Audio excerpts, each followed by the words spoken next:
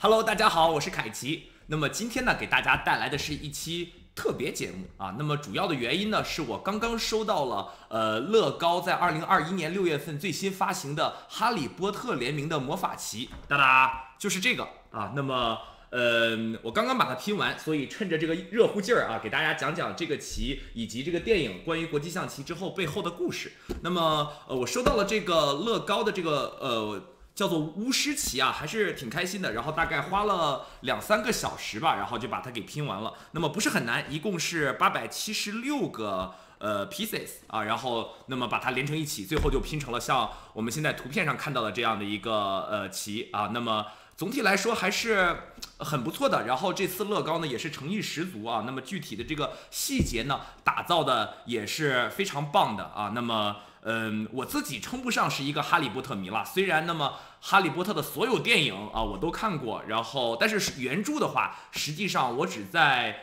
十六七岁的时候啊，买过一本这个中文翻译版本的这个呃《哈利波特》的最后一本书，好像是《哈利波特与死圣》，我记得很清楚。当时我十六七岁，在北京吧买的这本书，那本书的价格是五十八块钱，着实让我肉疼了一把。那么当时的话，大部分的书籍可能也就是二十多块钱，贵一点的三十多块钱。然后《哈利波特》的这本这个书啊，《死圣》刚出的时候五十八块钱啊，那也是这个呃，当时对我来说还是挺挺贵的一本书了。那么。后来呢？呃，去英国旅游，然后去了苏苏格兰，然后在苏格兰的爱丁堡，那么呃，专门还去了这个 J.K. 罗琳呃 J.K. 罗琳写作的这个地方，就大象咖啡馆。但是那天正在下雨，我就远远的在这个街对面看了一眼啊，那么也没有进去。主要原因就是我也不算是一个真正的一个哈利波特迷了，更多的就是一个呃跟风。那么这次主要是有一个国际象棋在里面啊，所以呢，嗯。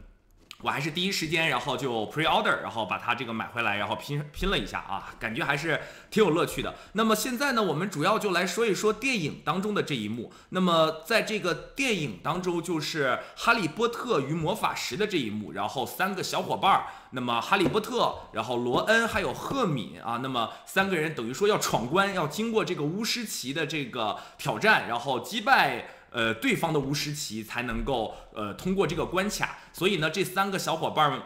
呃，三个小伙伴儿们呢互相合作，然后扮演了这个分别扮演了不同的棋子，然后最后取得了胜利。我们现在呢就一起来看一下这个电影当中借鉴的这样的一个对局的片段。那么在这个对局片段当中啊，那么三个小伙伴分别是哈利波特，然后扮演的这个象啊，在这个 A 三的位置上，现在。那么以及呢，罗恩扮演的马啊，Ron 在这个 G 五的位置上，以及呢，赫敏啊，在这个 F 八，它是一个车啊，我也不知道为什么安排它当车啊。那么它是一个车，所以。哈利波特在 A 三，然后赫敏在 F 八，以及呢罗恩在 G 五。那么在这个局面当中呢，轮到了这个对方走棋啊，白棋走。那么白棋在这个局面当中，他走了后到第三，直接呢就把这个黑棋的第三兵给吃掉了啊。然后这个罗恩在 G 五，那么他实际上。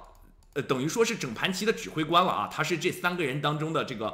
用现在的话来说就是国相担当啊，他指挥自己的这些棋子，然后他说 Rook to C3，然后当然他是英国口音，我也不知道怎么说啊，那么他指挥这个车啊，就走到了 C3，那么这是一部非常巧妙的一部这个汽车，主要就是为了腾格腾出 C5 格，为这个 A3 象，也就是哈利波特走到 C5 做准备。那么在车 C3 走完之后呢？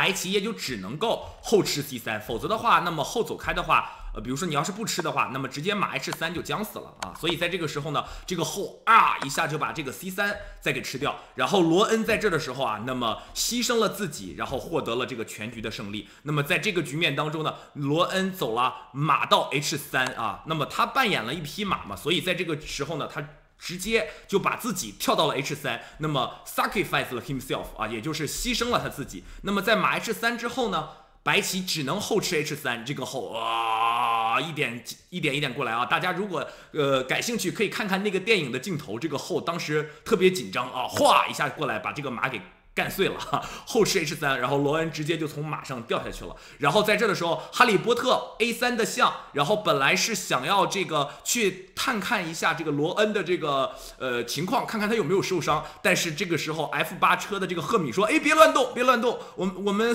还在这个游戏当中，我们还在对局当中，你要乱动的话，那呃，我们罗恩就白白牺牲了。然后哈利波特在这儿接受了提醒，才没有乱动。那么在这的时候呢，哈利波特把自己的象走到了 C 五，说 check。然后在这的时候呢，那么这个白棋直接就电影当中啊，白棋直接就整个就输掉了啊。但实际上象 C 五呢，还不是一个 checkmate 啊。那么在这的时候，象 C 五将军的时候，嗯，白棋还可以再走一步，让自己的后呢走到 E 三去，然后呢象吃 E 三，车和两只象配合将死对方的王啊。那么这也是一个非常构思巧妙的一个局面了啊。那么但是实际上比较好玩的一点是啊，罗恩在这个局面当中马 H 三。呃，牺牲了自己，然后成全了队友，但实际上在这个局面当中，除了马 H 三之之外啊，哈利波特也是可以牺牲自己的。在这个局面当中，他也可以先走到象 C 五去将军，那么在后吃 C 五之后再走马 H 三，罗恩呢也可以将死对方，但是。好吧，这就是主角光环吧，或者说，呃，罗恩为了全局啊，更有牺牲自己的精神，他让自己的这个所控制的马走到了 H 三，然后后吃 H 三之后，向 C 五获得了这盘对局的胜利。那么这次的这个乐高的这个这个巫师棋还是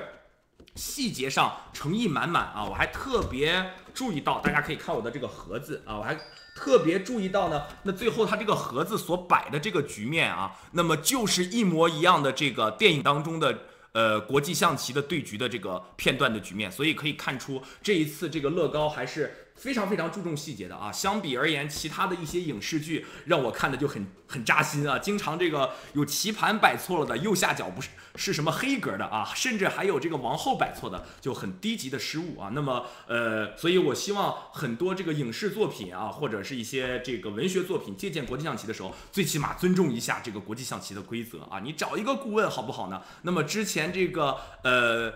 大热的热门美剧《Queen's Gambit》后裔弃兵之所以它非常的火热，就是它国际象棋的细节非常的到位，所以让很多戏呃棋手们来说看的也是这个如痴如醉，非常的好啊。那么顺便说一下，这个局面的创作呢是美国的 International Master 国际大师，他的名字叫做。，Jeremy Selman 啊，那么他还写了很多的书啊，我这里面正好手边就有一本啊，那么就是这本书啊，那么这本书一共有五百二十八页，是一本残局大全了啊，可以说从初学者到这个呃大师级别的棋手、专家级别的棋手都可以在这里面。找到自己喜欢的或者适合的残局的局面，那么呃，相信对于这个刚刚始入门的学习残局的同学来说，这本书呢是一个很不错的一个选择啊。好，那么这期视频就到这里，感谢大家收看。如果你喜欢的话，不要忘记一键三连，谢谢大家，咱们下个视频再见，我是凯基，拜拜。